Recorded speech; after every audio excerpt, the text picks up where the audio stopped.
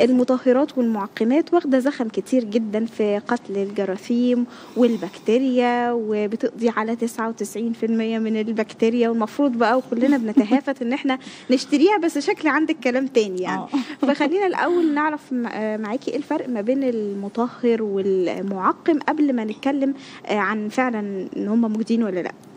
تمام بسم الله الرحمن الرحيم.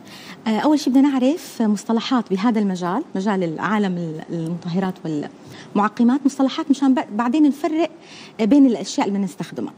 آه، المعقم sterilization غير المطهر disinfection مم. غير المنظف ال cleaning آه، التعقيم شو يعني تعقيم؟ يعني قضاء على 100% من ال germs من ال- الجراثيم. البكتيريا فيروس إلى آخره آه. كل الجراثيم. 100% التعقيم بيقضي عليها. المطهر هو بيقضي على بعض منها مو مو عليها كلها. يعني بيبقى في لسه في آه، جراثيم. مم. التنظيف هذا شيء ثاني تنظيف هو بس عملية فيزيائية إنك أنت عم تشيلي الوسخ آه، أو الغبار فقط اللي ممكن يحتوي على جراثيم. أما ما ما بيتفاعل يعني ما بيأذي الجراثيم وإنما فقط بيزيلها.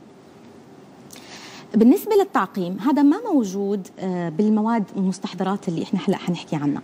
التعقيم اللي بيقضي على 100% هذا بيستخدم للأدوات الطبية لتعقيم الأدوات الجراحية، تستخدم بالعمليات الجراحية، لتعقيم آه، ثياب الممرضين والدكاترة، لأنه هذا آه، التعقيم له بروسيجر له إجراءات يا أما بيتعرض. لحرارة عالية يا آه، عبر الأشعة يا آه، ضغط بخار ماء ضغط عالي آه هذا فقط مثل ما قلنا التعقيم مشان يقضي على 100% يستخدم فقط في المستشفيات آه آه مشان آه يقضي لنا 100% على الجراثيم.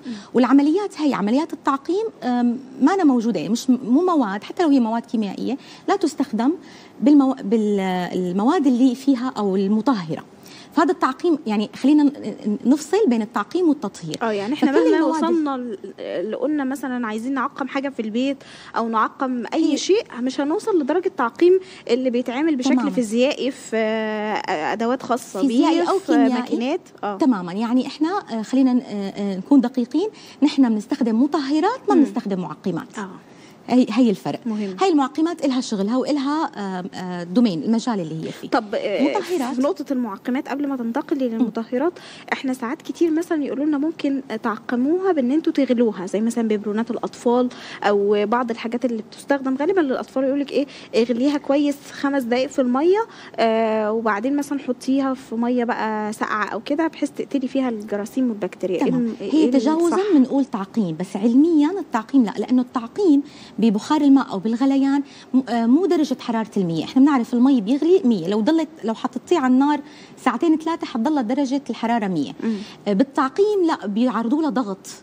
آه. الغليان بيتعرض لضغط فبترتفع درجة الحرارة فوق المية. مم. هي إلها أدواتها وإلها أساليبها فهي بتضل عملية تطهير للببرونات مش تعقيم ولكن تجاوزا بالعامية بنقول تعقيم. آه جميل جدا. ندخل بقى على المطهرات. عايزين مطهرات. نفهم بقى التكنيك. تمام. المطهرات هي ما بتقضي على 100% ابدا ولا على 99.9 هذا الرقم 99.9 خلينا نقول هذا marketing تسويق للمنتجات آه، فقط. بيضحكوا علينا يعني. أيوة. أيوه. أي حدا. بيعرف بال... بال... بعلم الجراثيم بيعرف إنه نحن لسه حتى ما اكتشفنا كل الجراثيم الموجودة بال... بالطبيعة. ففي جراثيم آه، بتبقى موجودة. فما في شيء بيقضي عليها 99.9% هي علميا آه، غلط. آه. بس بيقضي على آه، نسبة كبيرة من الجراثيم. مم. المطهرات يا أما بتستخدم آه، اسمها antiseptics هاي بتستخدم للأنسجة الحيوية للجروح للجلد للأغشية المخاطية. آه، أو بنسميها disinfectants اللي هي بتستخدم للأجسام الغير حية للأسطح لل الأدوات ال- التعقيم مثلا أدوات عند دكتور الأسنان أدوات اللي تستخدم للأسنان إلى آخره يعني تستخدم لل هي أنواع يعني للأجسام الحية وللأجسام الغير حية. آه. يعني نفهم من كلامك إن المعقمات دي قصة إحنا ملناش دعوة بيها خالص بعد كده ما حدش يقول إحنا بنعقم في البيت. إحنا بنطهر. التعقيم آه إحنا بنطهر بس.